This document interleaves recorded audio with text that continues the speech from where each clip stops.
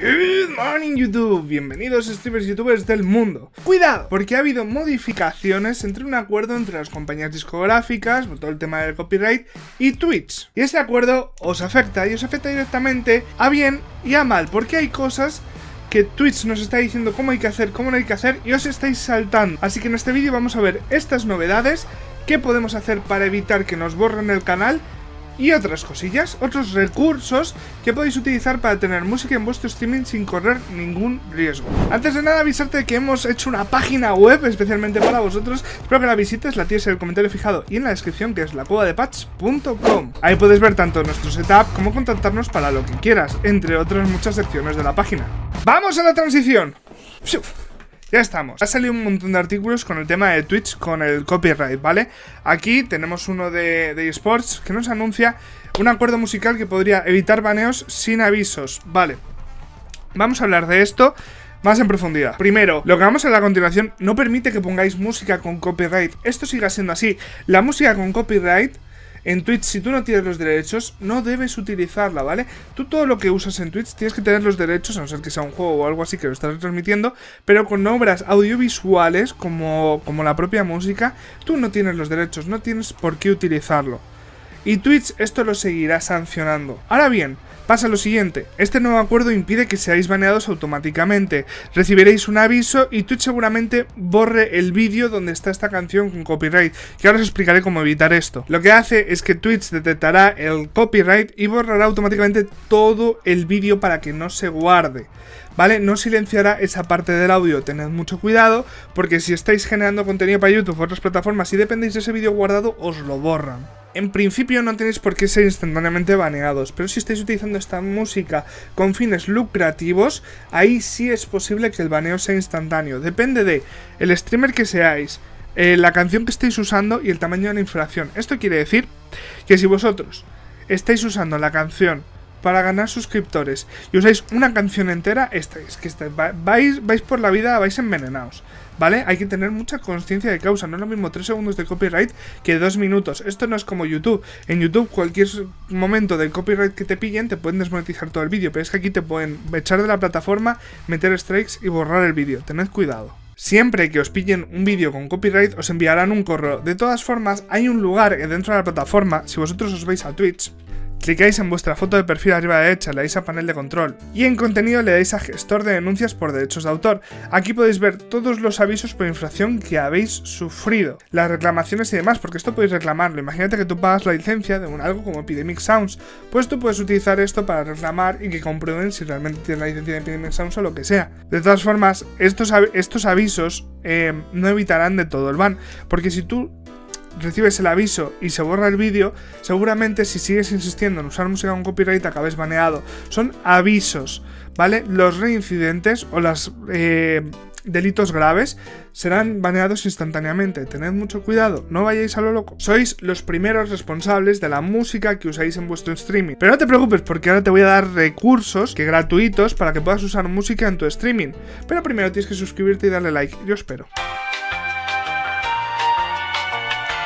Tranquilos, que muchos de los baneos que vayan a suceder no son permanentes. Incluso las reclamaciones por derechos de autor que os van a hacer caducan con el tiempo, no se acumulan aquí permanentemente. Twitch ha confirmado que caducan, ¿vale? Dependiendo de el, momento de la infracción y dicha infracción. Y algo muy loco que, que se ha llegado a dar el caso es que hay ciertas extensiones de Twitch que sí que producen música con copyright y que por lo tanto sois responsables vosotros y no Twitch de esa extensión, de cómo usar esa extensión. Es decir, si utilizáis una extensión por bits que reproduzca música, lo más seguro es que si esa música es con copyright os caiga la reclamación, os borren el vídeo y demás. Si nos vamos a más información, aquí nos explican que después de tres avisos de infracción de derechos de autor, la cuenta podría ser eliminada, ¿vale? Te pueden hacer un aviso, luego otro y banearte, y luego otro y permanabanearte. Dependiendo, lo dicho, dependiendo de la infracción. Hay artículos de ayuda que nos proporciona Twitch que son bastante interesantes por preguntas frecuentes y demás. Por ejemplo, aquí Twitch nos está recomendando que vayamos a esta sección y que no guardemos todos los vídeos que emitamos. Si desde aquí nos metemos en configuración, transmisión y bajamos, podemos ver aquí la configuración de las emisiones anteriores. ¿Vale? Aquí podemos publicar siempre y guardar las emisiones anteriores o podemos excluir ciertas categorías. Aquí podemos decidir, por ejemplo, si nosotros somos un streamer de Fortnite, que si estamos jugando Fortnite se guarden los vídeos, pero si ahora hacemos Just Chatting, y añadimos aquí la categoría de Just Chatting, todas las, todos los vídeos de Just Chatting se borrarán automáticamente. Esto permitirá que dentro de alguna manera vosotros hagáis un directo en Just Chatting con música y que luego cuando terminéis ese directo en concreto en Just Chatting se borre. Pero lo dicho, si os pillan en directo usando la música, os va a pasar igual. Podéis tener infracciones en cualquier momento y os pueden demandar. Porque aunque lo borréis vosotros, Twitch sigue teniendo esto y aunque no es muy frecuente porque Twitch recomienda que borremos todos los vídeos de emisiones anteriores, los clips con copyright y tal, porque somos los responsables del contenido. Pero si Twitch tiene pruebas de que lo hemos usado de alguna manera por alguien que haya sacado una captura, lo haya grabado en directo, una reclamación en directo, Twitch puede comprobar que esto haya sido y que suframos las consecuencias. No os la juguéis. De todas formas, esto es una buena herramienta para evitar de alguna manera que se publique contenido con copyright en nuestro canal una vez terminado directo. Igual con los clips. Esto se puede excluir categorías en los clips para así evitar esto mismo.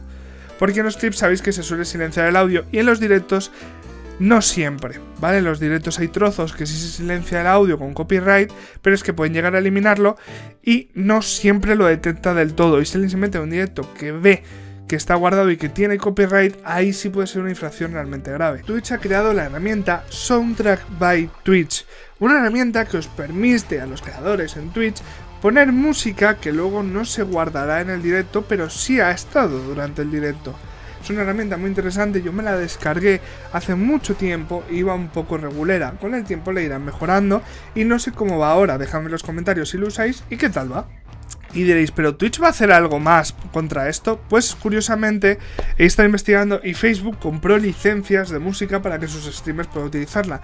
Incluso YouTube tiene una biblioteca de audio sin copyright para que podamos usar nuestros vídeos. ¿Qué tenemos en Twitch? Pues sepáis que en Twitch tenéis también las bibliotecas, eh, tenéis un montón de música sin copyright en YouTube y además tenéis en Spotify listas de reproducción hechas para streamers. Recurrid a esos recursos si no tenéis stream beats y un montón de cosas más. Solo hay que investigar un poco, pero no por hacer el meme o lo que sea, no metéis cosas con copyright. Si tú eres músico, haz tu propia música o cualquier cosa así.